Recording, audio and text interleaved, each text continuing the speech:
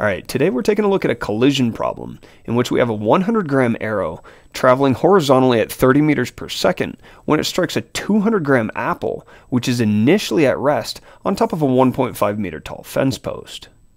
Now, when the arrow strikes the apple, it's going to become embedded in the apple, and the two objects are going to fall together to the ground. And today we're going to calculate the horizontal distance between the fence post and the position where the apple and the arrow land down here on the level ground. Now this problem can be broken up into two different phases. The first phase of this problem is centered around the collision between this arrow and this apple. And the second part of the problem is really a projectile motion problem, as the apple and arrow travel from the top of the fence post to the ground. You see, really what we're going to do here is look at this collision to find out the velocity of the apple and arrow just after this collision, which we're then going to use as the initial velocity of the apple and the arrow as they travel in projectile motion down to the ground here. So looking at the first phase of this problem, what we really have is a completely inelastic collision. That is a collision where two objects stick together. Now in any collision, we can say that the initial momentum of the system, in this case that's the arrow and the apple, is equal to the final momentum of the system. Again, the arrow and the apple. Now momentum is given by the equation mv, mass times velocity. And because we're dealing with two different objects here, the arrow and the apple, we're actually going to have two initial momenta. One for the arrow, that's 100 grams, or really 0.1 kilograms, traveling along at 30 meters per second. And the other term is our momentum of our stationary apple, that's 200 grams, or what would show as 0.2 kilograms, and that's at rest, so we're going to show it as having a velocity of zero. Now, after the collision, both of these objects are going to be moving at some final velocity. And it's important to recognize that the two objects are going to be moving together, therefore, they're going to have this same velocity. So we can combine our two terms over here for velocity, leaving us with this and solving for the final velocity, we get that just after the collision, the apple and the arrow are moving at 10 meters per second horizontally. Now, typically, I find people struggle the most in this problem in understanding how a result over here for the first phase of this motion feeds into the second phase of motion, or the projectile motion part of this problem.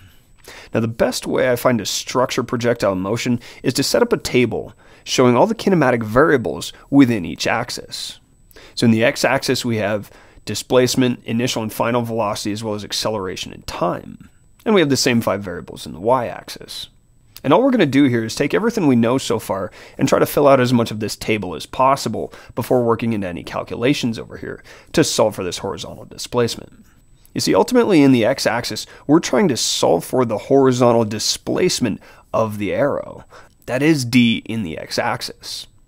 Now moving on to the velocity, this is where people tend to get confused. This velocity that we solved for over here, this was the horizontal velocity of the arrow and apple just after the collision. So that is going to be our horizontal velocity. That's 10 meters per second. Now anytime we're dealing with projectile motion on Earth, in the absence of air resistance, the acceleration is going to be zero.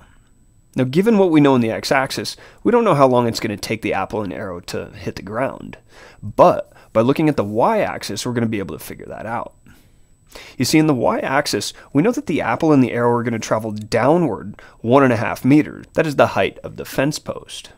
So I'm going to say that's a negative 1.5 meters. I'm saying it's negative because they're moving downward, and I'm just sticking with the convention. The up is the positive direction. Now this is where I see the mistake get made, right here the velocity in the y-axis. I know it's tempting to say that the velocity in the y-axis is 10 meters per second, but remember, just after this collision, the apple and the arrow were moving horizontally at 10 meters per second, not vertically. So our initial vertical velocity is in fact going to be zero. We don't know the final velocity, but the acceleration in the y-axis is going to be negative 9.8 meters per second squared. That is the acceleration due to gravity on Earth. Now, the key to projectile motion is that anytime we know any three of these variables in either of these axes, we can solve for the other two. And the important idea being that two axes only share time. So if we can figure out time in the y-axis, then we'll have enough information in the x-axis to solve for the horizontal displacement. So using the kinematic equation, d is vit plus 1 half at squared in the y-axis, plugging in negative 1.5 for the displacement, 0 for the initial time, and negative 9.8 for the acceleration, we find the total time it's going to take this apple and arrow to strike the ground is going to be 0.55 seconds. So now, knowing our objects are traveling horizontally for 0.55 seconds, we can again turn to the displacement equation and apply our numbers from the x-axis to that equation. So plugging in the velocity is 10 and the horizontal acceleration is 0, we solve for the displacement in the x-axis is 5.5 meters.